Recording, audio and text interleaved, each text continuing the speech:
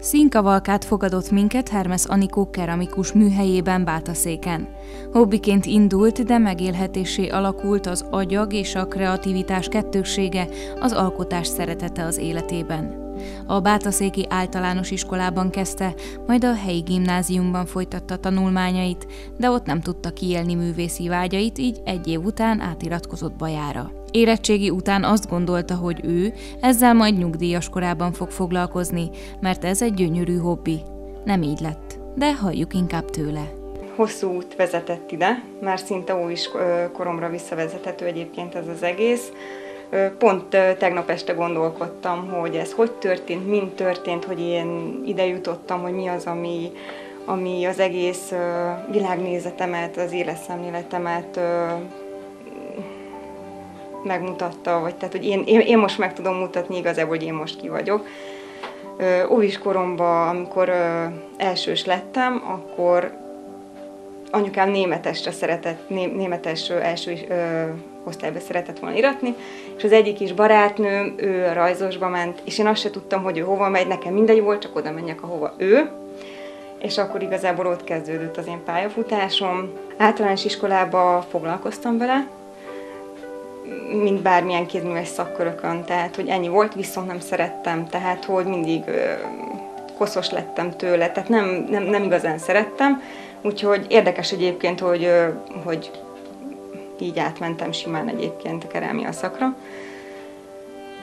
Utána Sopronba kerültem egy teljesen más szakirányba, Sopronban a Faipari Egyetemen végeztem bútoripari formatervezőként, úgyhogy az a másik szakmám, ezt nagyon kevesen tudják rólam. Érdekes egyébként, hogy, hogy annyira nem ezt szerettem volna, de hogy mindig erre terelt a, az élet, és uh, akkor elcsábította az akkori elcsábított, a szakmára elcsábított az, az akkori rajztanárom, és ő mondta, hogy jöjjek kerámiázni és akkor így lettem én végül is keramikus. Én ezt 2011 óta csinálom itt, jelenleg Bátaszéken a műhelyben, és azóta készítem itt a kerámiáimat, és néha visszakerül egy-egy munka a szemem elé, amiket még a legeslegelején készítettem. Hát igen, tehát na- nagyon sokat fejlődtem. Leginkább megrendelésekre készít termékeket, de nem hazudtolva meg saját stílusát,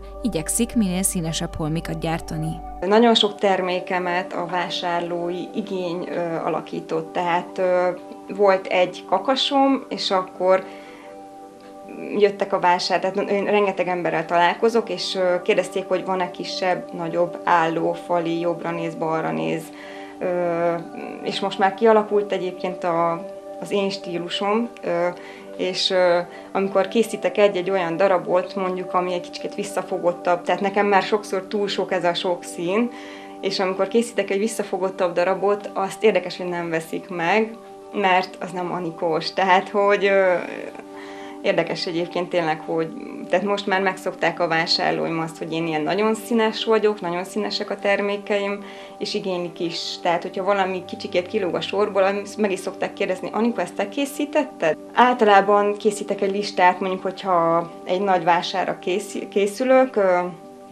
tehát mindig felmérem a vásárlói igényt, hogy mi az, amiből a legtöbb fogyott, mm, éppen mihez van kedvem, tehát azért ez, ez is bele szól, hogy éppen mihez van kedvem, de logika szerint egyébként, hogyha, mert általában mindig csúszásban vagyok, kevés az idő mindig mindenre, és hogy ugye akkor ugye a nagyokat kell elkészíteni, ugye annak több száradás kell, egy-egy ilyen kerámiát is egyébként több napig tart elkészíteni, mert például ennek a kakasnak is, amíg a testem most már eléggé merev, ahhoz, hogy én fel tudjam rá tenni a szárnyát. Több mint 150 féle terméken van, félelmetes egyébként.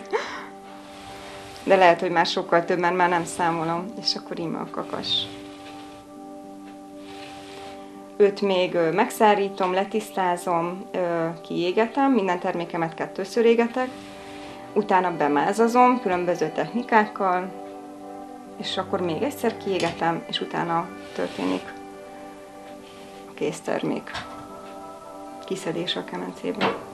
Az a baj, hogy nagyon kevés időm van a saját munkákra. Tehát ami tényleg ilyen elszánt ö, anikós, ami absztrakt. Néha szoktam készíteni, akkor teljes nyugalom és csönd van a műhelyben, tehát akkor még hozzám se szólhatnak.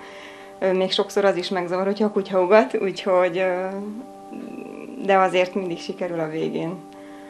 De ritkán készül ennyire absztrakt alkotás. Egyébként az emberek annyira nem is vevők rá. Tehát mivel, hogy én, én nem ö, galériákba készítem a termékemet, tehát ö, vásárokba eladásra. Általában az emberek az figurális, ami megfogható, ami kézzelfogható dolog, ezt jobban szeretik egyébként az emberek.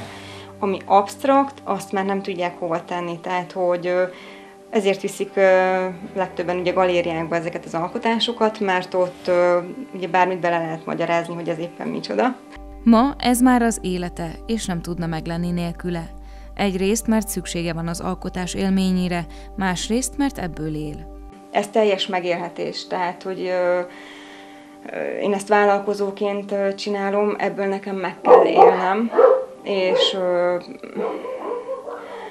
igazából mindig azt csinálom, amit szeretnék, tehát, hogy én választom ki, hogy jelenleg éppen milyen munkafázist csinálok, viszont azért ez már túlment a hobbi szinten, tehát hogy ez, ez, ez már több itt a megélhetésről van szó. Nagyon magányos vagyok itt a műhelybe, és mert tizen akárhány éve készítem egyébként egyedül a kerámiákat, ezért néha hiányzik a társaság, az, hogy emberekkel kommunikáljak, és ez a masszázs egyébként egy kicsikét kiegészíti az életemet jelenleg, de de a fő foglalkozásom ez, tehát igazából az csak a lelkemnek szól tényleg, hogy én egy kicsikét kikapcsolódjak, de, de természetesen a kerámia a, a fő vonal, amin most megyek. Hiányzik is, tehát hogyha pár hetet nem dolgozok, akkor, akkor alig várom, hogy bejöjjek a műhelybe és alkossak valamit. Hiányzik.